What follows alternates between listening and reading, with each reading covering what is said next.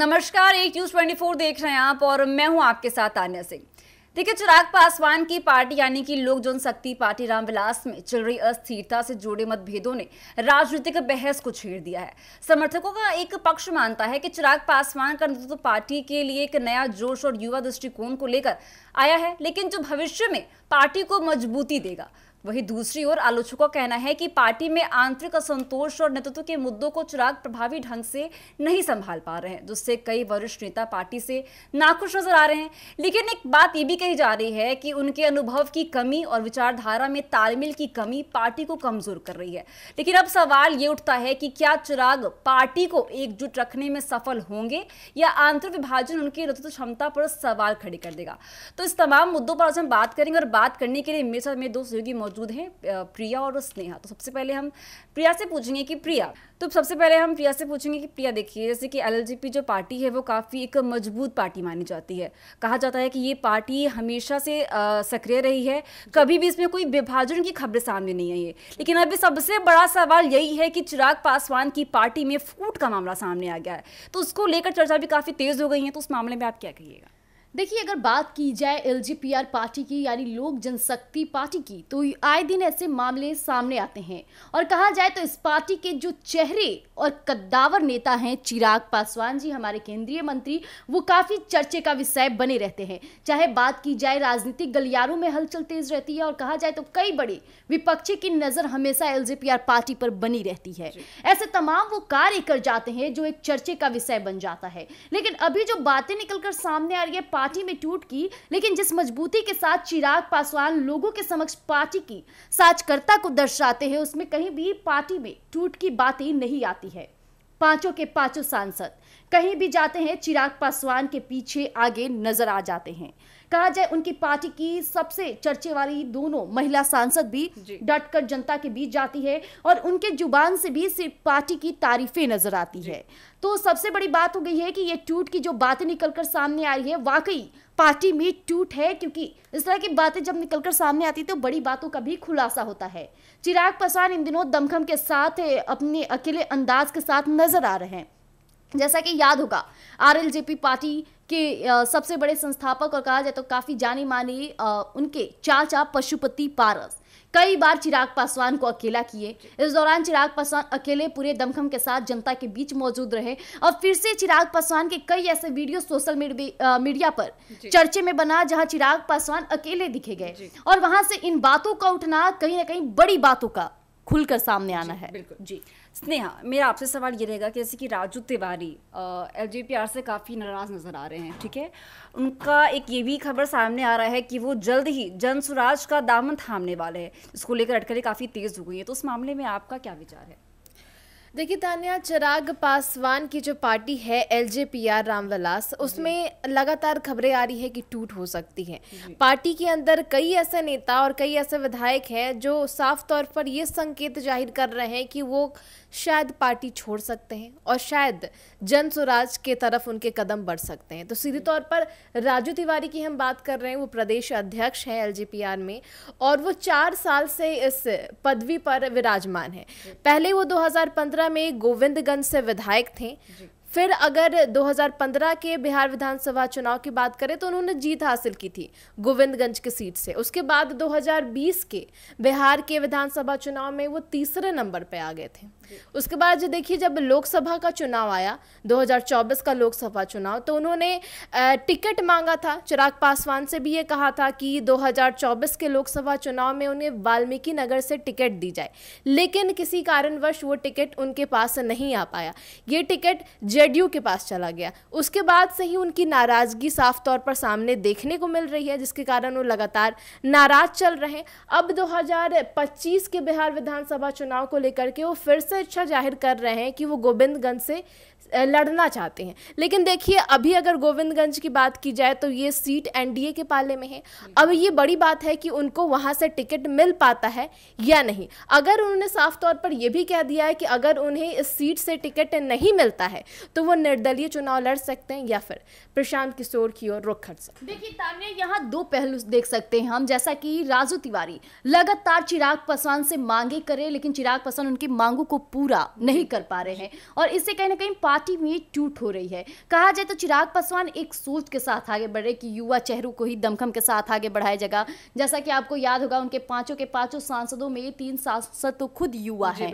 और कहा जाए तो बड़े चेहरे के साथ वो अपने काम को भी आगे बढ़ा रहे हैं युवा सोच के साथ आगे बढ़ रहे हैं। लेकिन जो पहले के लोग हैं जो चिराग पासवान के पिताजी के सम्मान में चलते हैं इस दौरान चिराग पासवान के लिए सबसे बड़े खतरे की घंटी हो जाती है जब उनकी पार्टी के कद्दावर पुराने नेताओं का चिराग पासवान पर आक्रोश हो जाता है। बात आ जाती है राजू तिवारी। लगातार चिराग पासवान से मांग करते हैं चुनाव लड़ने के लिए लेकिन चिराग पासवान उन्हें टिकट नहीं दे पाते हैं। और इसी कारण चिराग पासवान से कई ऐसे प्रश्न भी दागे गए कि चिराग पासवान आखिरकार ऐसा क्यों कर रहे हैं? तो चिराग पासवान ये भी बातें साफ़ ज़ाहिर किए थे कि हमारे पार्टी में कोई आए और जाए उससे हमें फ़र्क नहीं पड़ता।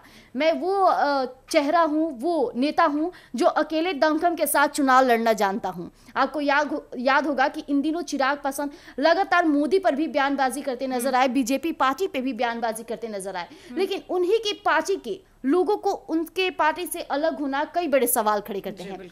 चिराग पासवान लगातार बोलते आते हैं जब भी पार्टी में टूट होती है चाहे बात की जाए जदयू के कई कदावर नेताओं का जाना आरजेडी से कई नेताओं का जाना तो चिराग पासवान पूरे दमखम के साथ बोलते हैं कि मेरे सांसद मेरे साथ खड़े रहते हैं। हमारी पार्टी में टूट की बातें कभी नहीं होती है। लेकिन उन, वो ये बात भूल रहे हैं कि जो पुराने नेता हैं, जो काफ़ी समय से उनके पार्टी में शामिल है, अगर उन्हें इज़्ज़त, प्रतिष्ठा, सम्मान नहीं दिया जाता है तो कहीं ना कहीं पार्टी में टूट की तो बातें आएगी हैं। और राजू तिवारी ये दमखम के साथ मीडिया कर्मियों के सामने भी कई बार आए और मीडिया कर्मी इस बात को और भी ज़्यादा फैलाकर बढ़ा चढ़ा कर दिखाते रहें कि राजू तिवारी अब पार्टी छोड़ेंगे। चिराग पासवान को काफ़ी आक्रोश के साथ बोले हैं और ऐसे कई वीडियो सोशल मीडिया पर भी प्रभावित है। जी।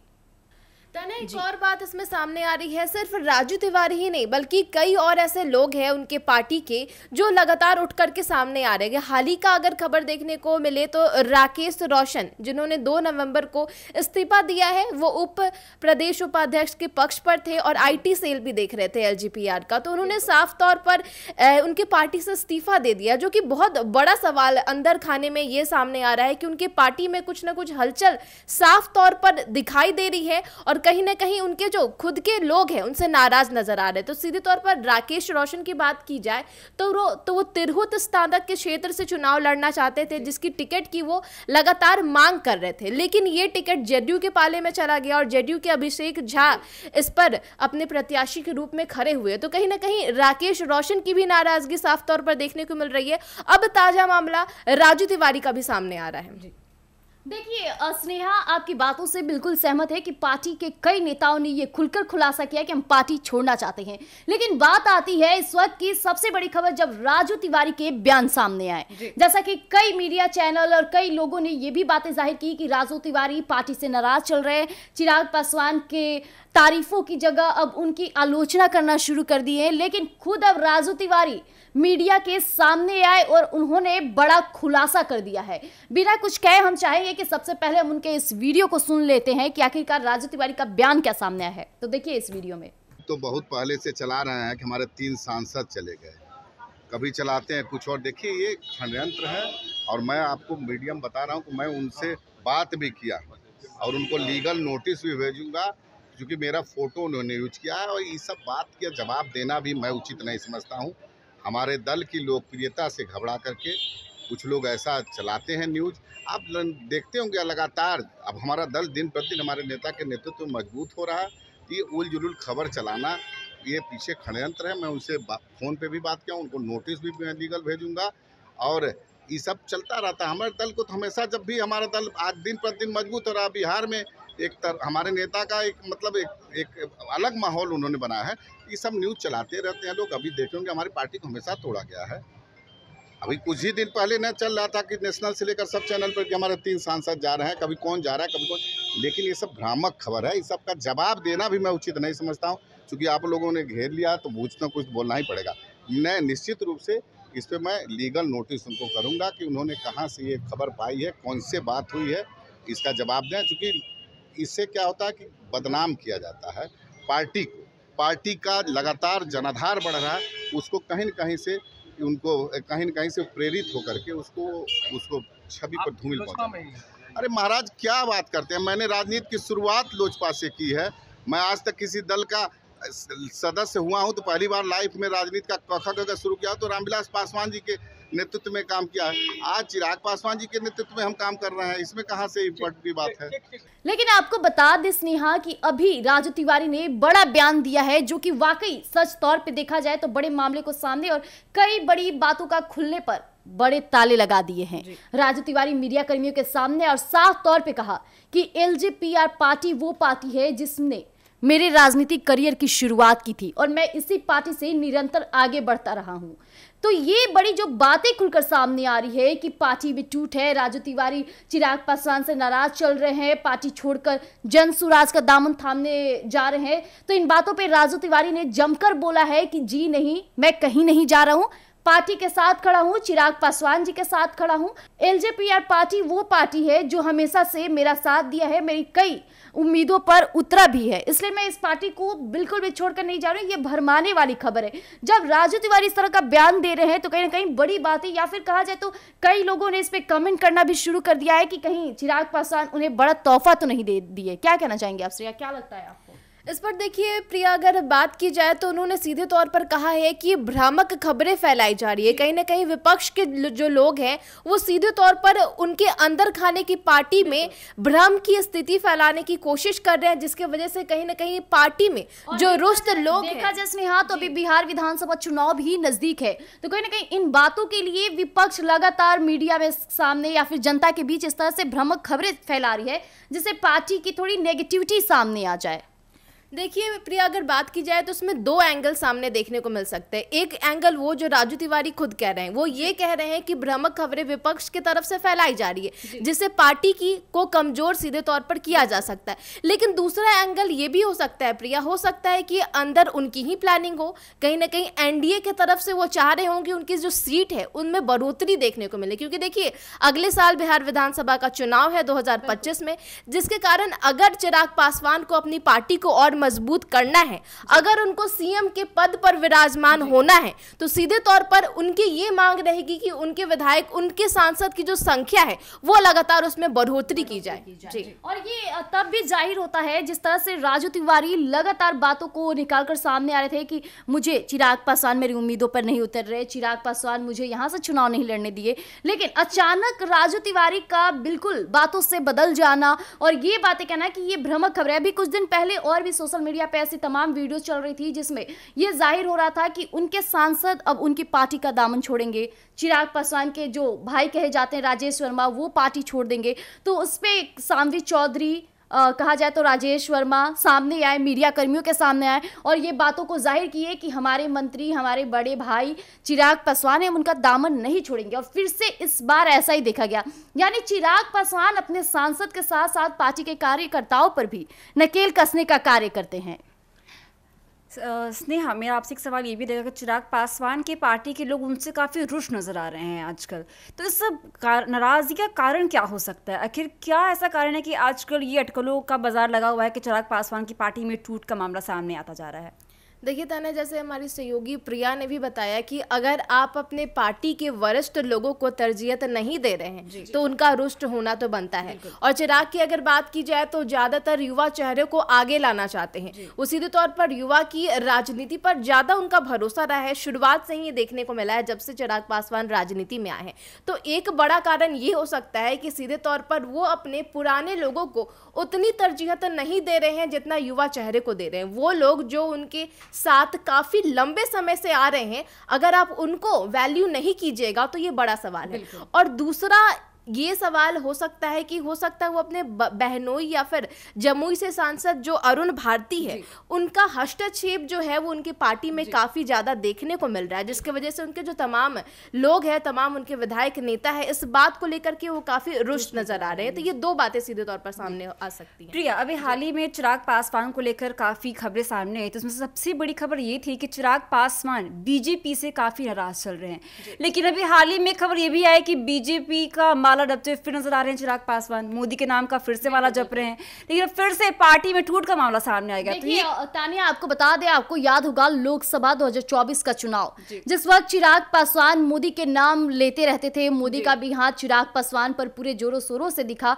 लेकिन फिर से बिहार विधानसभा चुनाव नज़दीक है और फिर से चिराग पासवान का मोदी का नाम बार बार लेना कहीं ना बड़ी बातें खड़ा करती है। क्योंकि कहा जाए तो मोदी वो अभी चेहरे हैं जो नकेल कसने का कार्य करते हैं। हम्म। चाहे बात की जाए बिहार के मुख्यमंत्री नीतीश कुमार ही हो क्यों ना हो और केंद्रीय मंत्री चिराग पासवान ही क्यों ना हो। आपको कुछ दिन पहले याद होगा कि किस तरह से चिराग पासवान नाराज़गी जताते रहे बीजेपी के कई बड़े फैसलों पर और बीजेपी लगातार चिराग पासवान पर नकेल कसी। दस से पंद्रह दिन नहीं हुए थे कि चिराग पासवान की पूरी पटरी पर उनके सोच विचार आ गए थे। हालाँकि कहा जाए तो मुख्यमंत्री नीतीश कुमार उस समय काफ़ी दमखम के साथ दिखे। यहाँ तक कि खुद केंद्रीय मंत्री चिराग पासवान के चाचा यानी पशुपति पारस को भी बीजेपी के नेताओं के द्वारा कॉल किया जाने लगा। उन्हें बुलाया जाने का बड़ी बड़ी बैठक होने लगी। वहाँ से बातें निकलकर सामने आने लगी कि पशुपति पारस को राज्यपाल बना दिया जाएगा। इस तरह से तमाम बातें खुलकर सामने आई लेकिन चिराग पासवान इन बातों को समझ गए और जल्द ही पटरी पर आ गए। और फिर से ऐसे ही देखा जा रहा है कि बिहार विधानसभा जहाँ चुनाव नज़दीक आया है तो चिराग पासवान फिर से मोदी का नाम लेना शुरू कर दिए हैं। मोदी के इशारों पर चलना शुरू कर दिए हैं। विकसित भारत, बिहार की बातें करना शुरू कर दिए। तो कहीं ना कहीं इससे कहा जाए तो राजनीति पे और उनके वोट बैंक साधने पर बहुत बड़ा असर दिखाता है। तो जैसा कि आपने सुना कि किस तरह से चिराग पासवान की पार्टी को लेकर अटकुल का बाज़ार काफ़ी गर्म होता हुआ नज़र आ रहा है, क्योंकि अभी हाल ही में एक खबर सामने आई कि चिराग पासवान की पार्टी में फूट का खबर सामने आया है। लेकिन दूसरी तरह से राजू तिवारी ने बयान दिया कि नहीं, ऐसा कोई भी मामला नहीं है। चिराग पासवान के साथ अब भी वो जुड़े हुए हैं और उनकी पार्टी के साथ कोई भी अलवा का खबर नहीं आ रहा है। तो अब देखना ये होगा कि किस चिराग पासवान अपनी पार्टी को सक्रिय करते हैं और अपने पोलिटिकल पॉइंट ऑफ़ व्यू को एक नया मोड़ देते हैं। तो फ़िलहाल के लिए बस उतना ही। ऐसी तमाम खबरों के देखते हैं ट्वेंटी धन्यवाद।